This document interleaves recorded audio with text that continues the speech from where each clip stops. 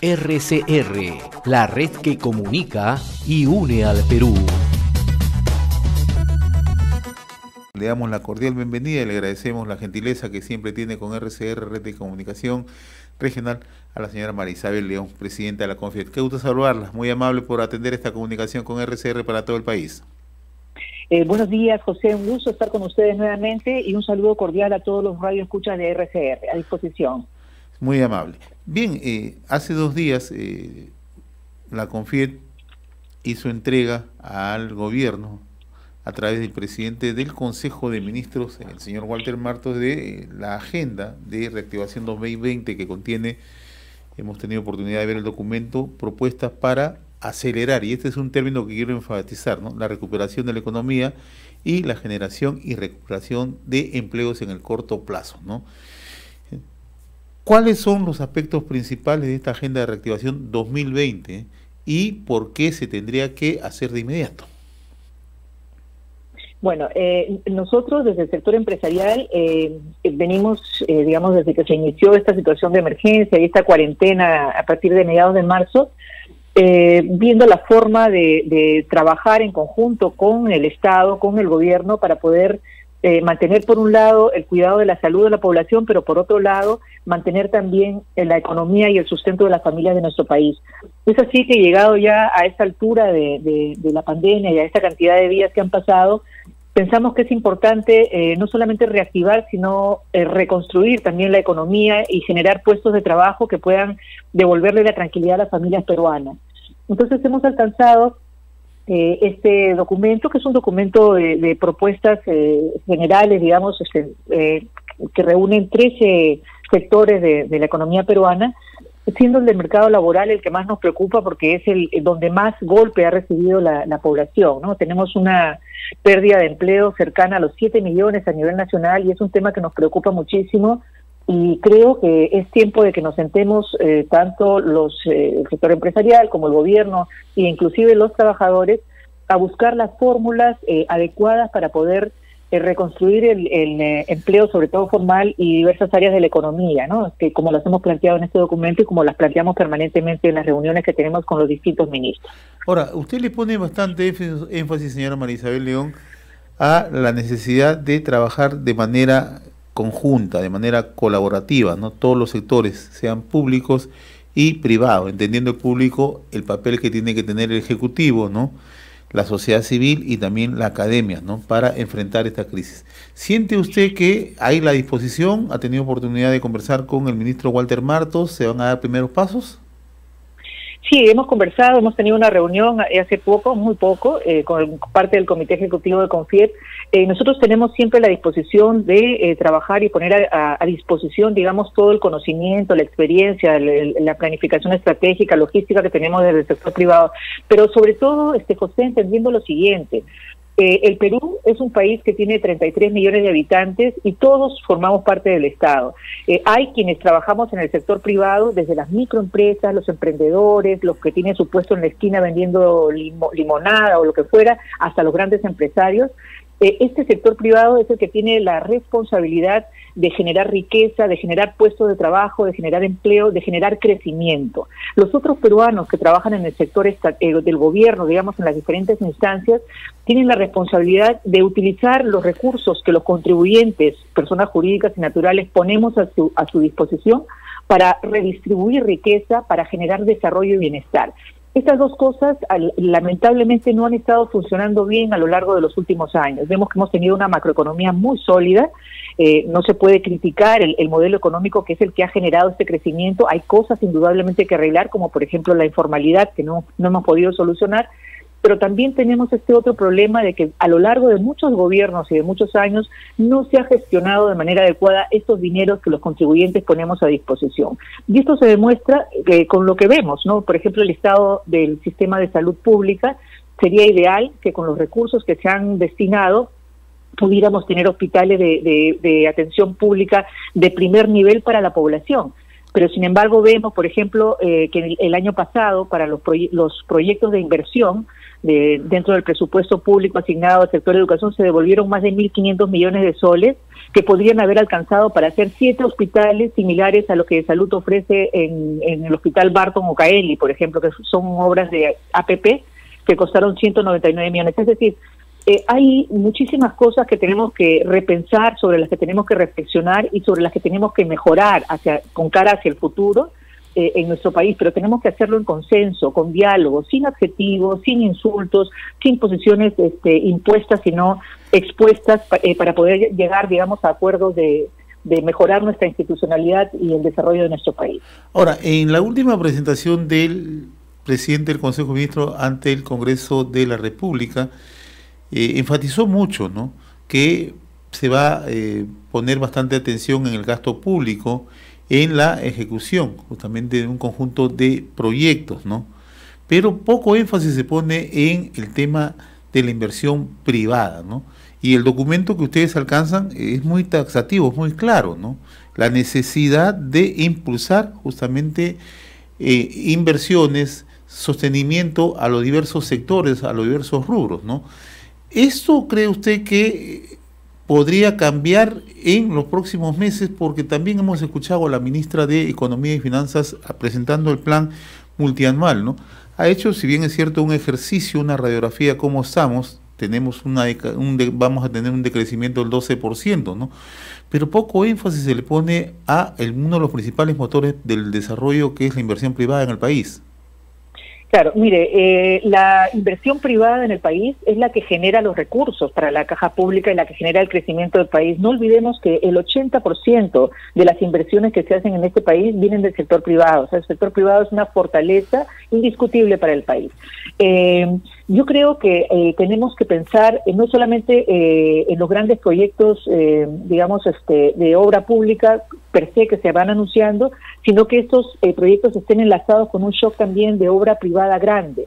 de inversión grande, y no solamente de inversión nacional, sino también en esta situación de, de, presión económica que tenemos, mirar la inversión extranjera, los capitales extranjeros que puedan convertir al Perú en un hub de inversión que genere también crecimiento, que genere recursos para el fisco y que genere puestos de trabajo para los peruanos. Yo creo que eh, quedan pocos meses para el término de este gobierno y ojalá pudieran dejar proyectada toda esa obra pública que anuncia, porque nada de eso se va a poder hacer en un mes. Eh, por ejemplo, acaban de anunciar 6 mil millones de soles para el plan de, cierre de brechas de la Amazonía, con más de 800 proyectos que me parecen estupendos, pero son a largo plazo son a, plazos que trascienden el, término de este gobierno. Eh, se ha anunciado el programa Arranca Perú con más de 6.400 millones de soles y la creación de un millón de puestos de trabajo, pero todavía estamos lentos en, poner en, marcha este motor de, utilización de esos fondos. Entonces sí hay que priorizar proyectos de inversión eh, privada que estén en cartera. En minería, por ejemplo, hay más de 52 proyectos que están en cartera que se podrían ir priorizando, que ya tienen el estudio de impacto ambiental. Es decir, hay que mirar cuáles son los sectores que generan mayor impacto en el crecimiento del país, mayor dinero para la caja pública y mayor generación de, empleo, para poder, digamos, este, comenzar a trabajar eh, ya, ¿no? Sin, dilatar más el tiempo. Ahora, yo al iniciar la entrevista, el señor María Isabel León ponía bastante énfasis en la necesidad de acelerar, y utilizo los propios términos que ustedes están planteando, la recuperación de la economía, ¿no? Y usted lo acaba de enfatizar, ¿no? este gobierno ya está casi de salida, tiene poco menos de 11 meses ya para culminar su gestión. Entonces, en medio de esta emergencia no se puede esperar. ¿no? ¿Siente usted que este gobierno va a poder, por lo menos, recoger algunas de las propuestas que ustedes están planteando y echarlas a andar? Mire, yo soy una persona eh, que siempre suelo ser positiva y siempre suelo tener fe en, los seres humanos y en el diálogo que, que, a través del diálogo, digamos, se pueda lograr.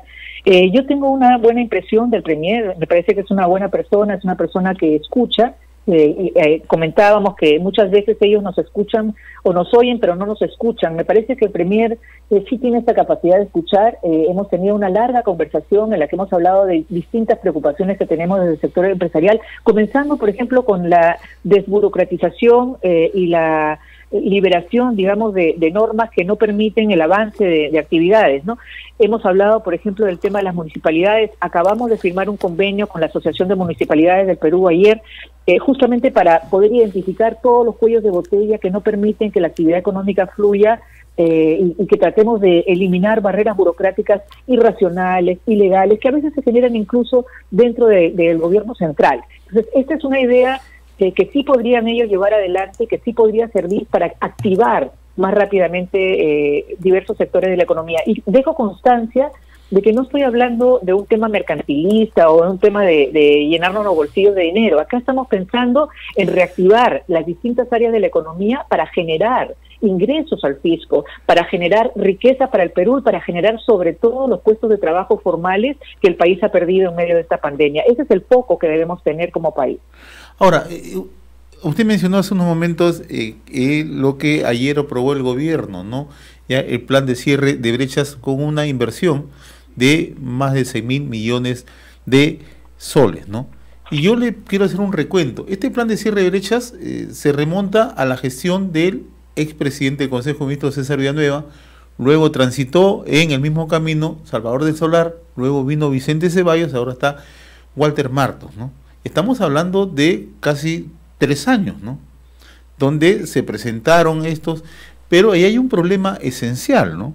Y que tiene que ver justamente con el nivel de ejecución de gasto y la capacidad que tiene para ejecutar los mismos, ¿no?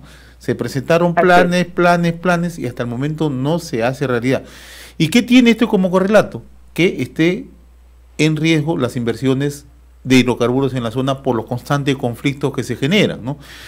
Por eso era mi pregunta, si verdaderamente creemos que el gobierno va a tener esta capacidad, creen mucho en la inversión pública, pero también no se puede paralizar la inversión privada. Sí, definitivamente. Mire, y otro de los puntos importantísimos que hay que tener en la mira es que el país necesita mantener su seguridad jurídica y predictibilidad. Si no hay seguridad jurídica y no hay predictibilidad, difícilmente las empresas eh, se animan a invertir, porque existe mucho mucho temor de que se cumplan los acuerdos que se, se, fijan, digamos. También, por otro lado, eh, la inactividad de los, del Estado, de los gobiernos a través de los años, eh, de no utilizar, como dije al principio, los recursos públicos para crear obras de, bienestar y de desarrollo en diferentes regiones, genera los climas de conflictividad. O sea, no es posible, por ejemplo, que eh, sigamos teniendo comunidades cercanas a, zonas donde hay grandes proyectos mineros cuyas, cuyas empresas entregan el canon, el impuesto a la renta, las regalías a los gobiernos de acuerdo a cómo está diseñada la ley y no se ejecutan las obras para bienestar de la población. Entonces tienen a una población que le reclama a la empresa como si fuera el Estado los servicios de agua, de luz, eh, eh, etcétera, ¿no? Servicios de salud y de educación. Quizás eh, sea un momento, como estamos cercanos a las elecciones, en que podamos reflexionar sobre cómo rediseñamos estas leyes, estas normas, que puedan ser más inclusivas y que puedan ser generar una mejor distribución de los de la riqueza que se genera en el país para bienestar de los demás ciudadanos. Y quizás sea también una oportunidad para que el sector privado se involucre un poco más no solamente genere la riqueza, sino que también se involucre en el desarrollo del país, ¿no? interviniendo y colaborando más activamente eh, con los gobiernos para poder lograr este fin. Usted ha mencionado el término predictibilidad jurídica, ¿no? Y en realidad, cuando uno eh, empieza a analizar ¿no? el, el nivel de confianza de un país, lo primero que se pregunta, ¿es un país predictible?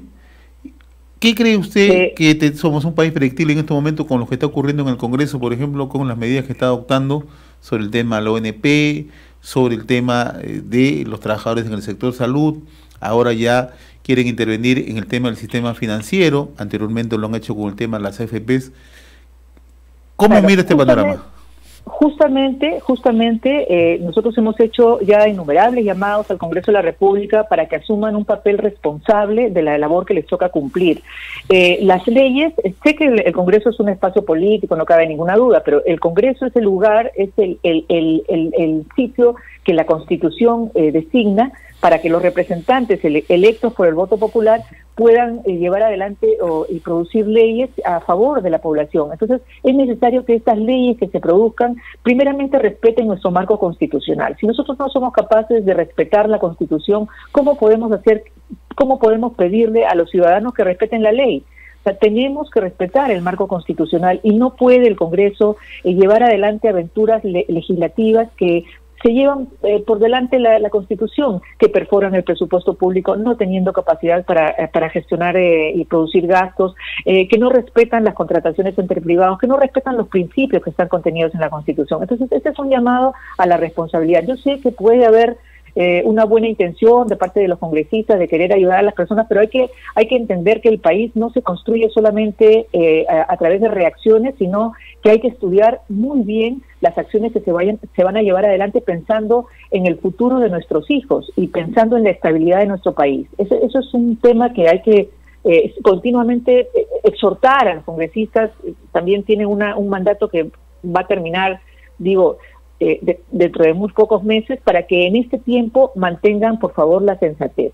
Tenemos las instancias también que, garantizan el, cumplimiento de la Constitución, como es el Tribunal Constitucional, y espero que se, respeten las sentencias que sean emitidas en el, en el, Tribunal y que no se le ataque tampoco porque las sentencias no se encajen dentro de lo que, lo que algunos partidos políticos desean que se haga dentro del Congreso. No hay que mantener el equilibrio democrático, hay que mantener el respeto sobre todo a la Constitución.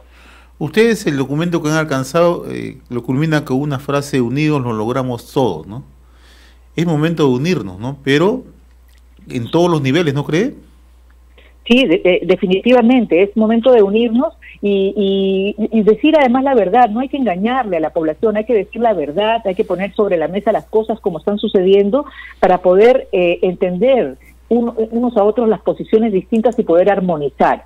Yo, yo siempre digo que nadie es dueño de la verdad y que los argumentos no se imponen, se exponen para debatirse con respeto, eh, con, este respaldo técnico, eh, con información. Creo que eso es lo que debemos rescatar. Y son tres principios los que yo siempre pido que en el país se puedan, eh, digamos, observar para llevar adelante una buena convivencia ciudadana. El primero es recuperar valores. Segundo, recuperar la sensibilidad. Y tercero, respetar el principio de legalidad. Creo que esos tres principios elementales van a llevar a nuestra sociedad eh, a un mejor eh, a un mejor fin. ¿Le preocupa que ingresemos a un año electoral y la tentación populista nos pueda ganar? Eh, sí, definitivamente las personas tienen que entender que todas las ofertas facilistas que se hagan políticamente para lograr eh, un lugar eh, eh, en las próximas elecciones, no deben ser atendidas. Hay que reflexionar sobre las cosas con realidad. Hay cosas que, que duelen, estamos todos perjudicados por esta situación de pandemia, nos va a costar salir adelante, ciertamente. Todos hemos perdido algo, hemos perdido familiares, hemos perdido puestos de trabajo, hemos perdido empresas que no han podido prender su luz, pero tenemos que reconstruirnos con fe con fe, con esfuerzo y, y, salir adelante apoyándonos unos a otros como corresponde, pero no peleándonos, no insultándonos, sino tratando de desmerecer a unos para eh, tratar de, beneficiar a otros. Acá tenemos que salir adelante juntos como país. Finalmente, eh, señora María Isabel León, ayer eh, el gobierno ha adoptado un conjunto de medidas respecto a la situación de emergencia sanitaria y económica que estamos viviendo, ¿no? La ampliación del estado de emergencia, la focalización de cuarentena. ¿Le parece acertada esta decisión?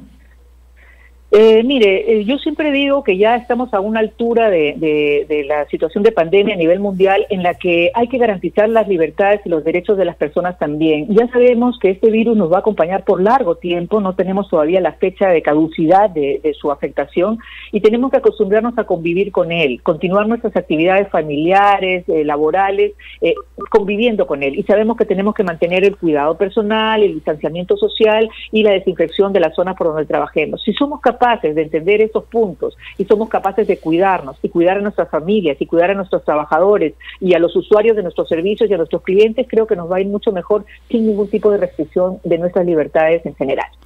Yo le agradezco infinitamente esta comunicación con RCR, Red de Comunicación Regional, señora María Isabel León, presidenta de la CONFIET. Ha sido grato conversar con usted. Muchas gracias. Igualmente, un abrazo y tengamos fe que vamos a salir de esta junta. Claro que sí. Muy amable. RCR, la red que comunica y une al Perú.